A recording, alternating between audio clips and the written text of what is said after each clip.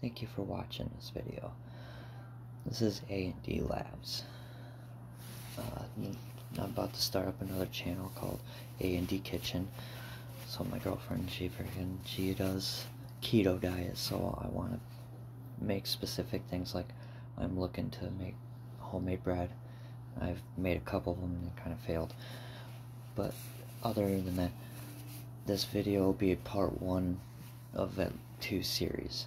So I would look out for the number two. The only thing I have to get is the multimeter. I already got the step down power converter. Uh, I just need to get a power supply that converts AC to DC so that way I don't burn up my chip. I bought the chip from Wish, which I will post the video of that. Uh, other than that, I hope you enjoy this. I will put a schematic up, and thank you for watching.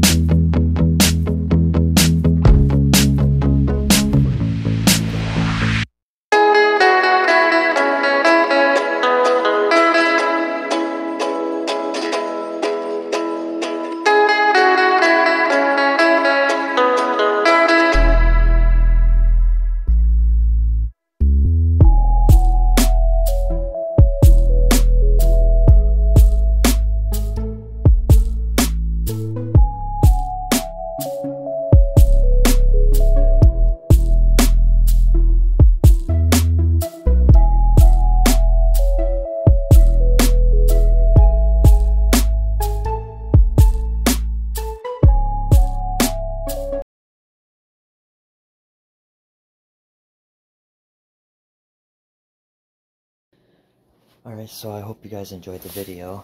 I uh, got an update for it, so, well, not necessarily update considering it's going to be on the same video, but, yeah, regardless, uh, so this is what it looks like on the inside now. So I kind of made everything look kind of fine and dandy, just for, you know, my looks. Right now, I don't have the fans in. I had to actually pull them out because, well, my next video is going to be about building a PC from Facebook. Yeah, the fun part.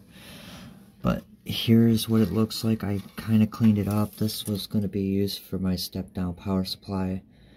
But I, I'm not quite genius at what some of the stuff does. So I found out that those step-downs, they go by how much volts that this pushes out.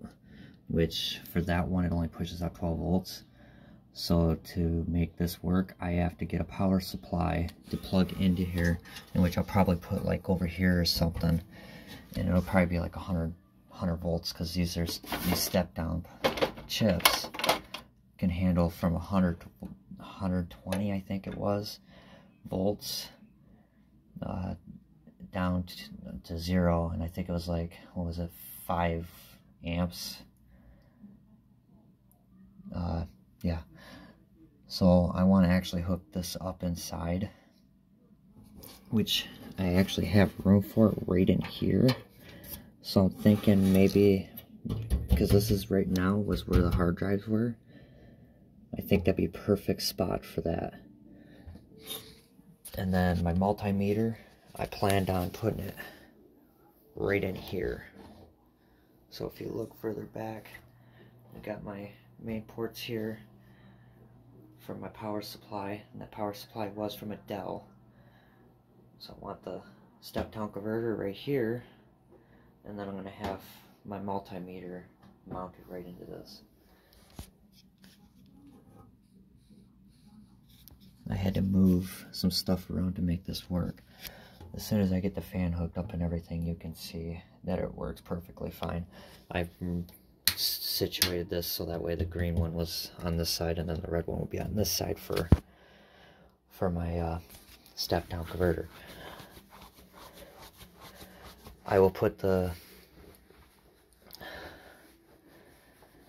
I put the diagram online. I'll probably put it in the video or I'll put it on the I'll put it on the video. Uh, other than that, that's pretty much what I've done with it. I've had it, I had both fans working, but unfortunately I had to do, I'm doing the video on the computer, so that's pretty much all I have on that. As soon as I get all running, I will do my second video and I'll show you how all of it's working and how well it all works. Thank you.